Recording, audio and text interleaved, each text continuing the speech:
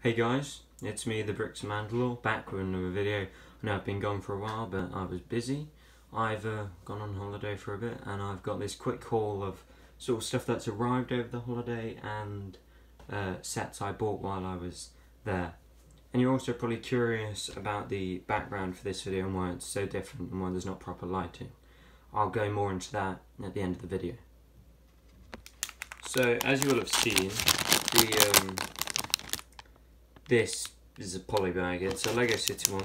We don't really get polybags that much in the UK, um, mainly because I don't really have any shops near me that would sell polybags. They'd sell like maybe a few sets. I don't have any big sort of toy shops, so I'm less likely to get that. And this basically just seems to be a fireman with fire axe, a uh, like a little SUV quad bike looking thing which has a sort of bar on the front which might be useful for other stuff. And I might review this at the end maybe it's just a small review go back to my old days of reviewing sets rather than uh, buying them and breaking them apart and building them into new and wonderful things.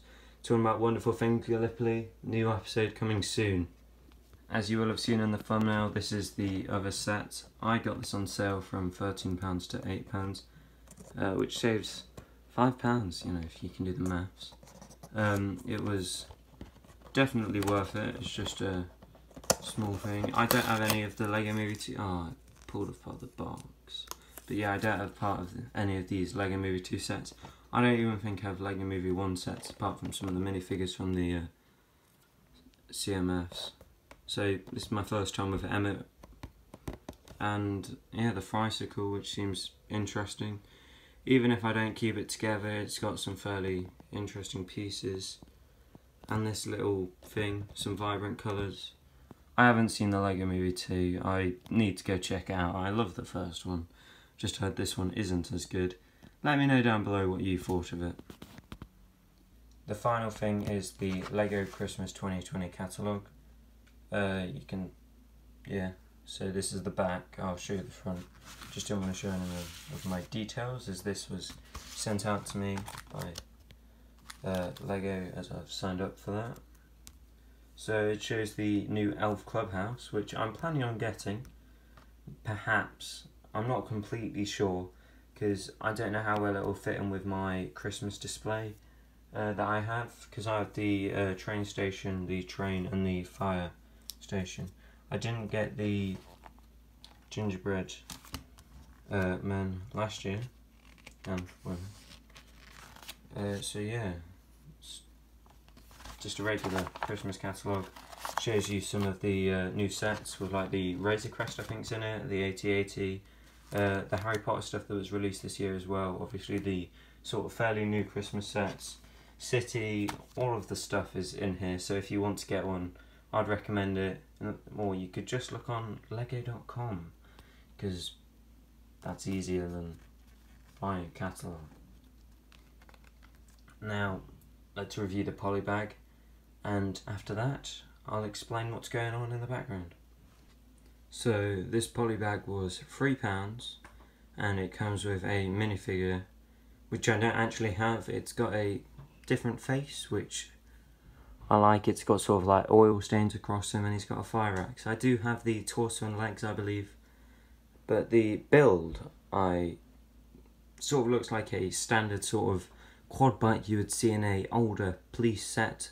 I think I have one very similar to it but it also has um like this sort of bar on the back, uh, lights, fire extinguisher which I believe that's what the white thing is meant to be and then it's got the bars on the front. I know the camera's really messed up. It's because the background's red for the project I'm currently working on, and the red doesn't go well together. There, that sort of con like focused it a bit better. But yeah, this set is interesting, and I'd say if you see it, buy it for three pounds or however much it is in your country. I'd assume in America it's about five. Um, but yeah, it's a fairly good set. If you just want to get a cheap little thing with maybe some extra parts and stuff, or a different figure to add to your collection, go for it. But now let's talk about the project going on in the back. So this video is giving a sort of sneak peek into the new stop motion I'm making and yes that is what this is. It is my brand new stop motion I'm working on. Um, so it's going to be Star Wars related. It won't have any sort of characters and stuff like that. It's all like my own story. It's going to be based after the uh, fall of the Empire, around the time of the Mandalorian. Um, so dealing with stuff like that after the Civil War.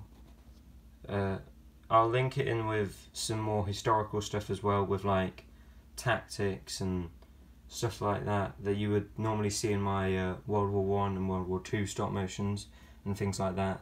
It'll sort of be like a blend, and also medieval stuff maybe. Sort of, if you know the story to Macbeth or uh, Game of Thrones, imagine stuff like that.